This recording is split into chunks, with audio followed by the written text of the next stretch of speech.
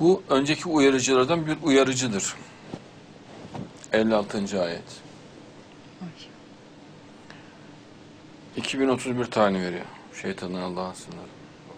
Bu önceki uyarıcılardan bir uyarıcıdır. Tam 2031. O yaklaşmakta olan yaklaştı. Hem kıyamet hem İslam'ın dünya hakimiyeti. İnşallah. Onu Allah'ın dışında ortaya çıkaracak başka bir güç yoktur.